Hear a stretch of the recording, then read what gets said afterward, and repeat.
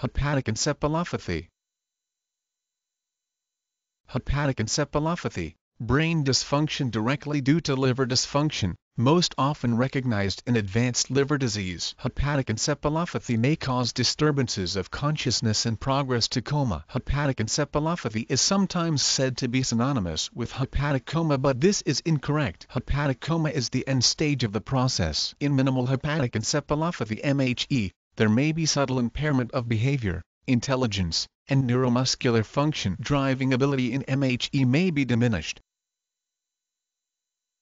H E P A T I C E N C E P H A L O P A T H Y. Hepatic encephalopathy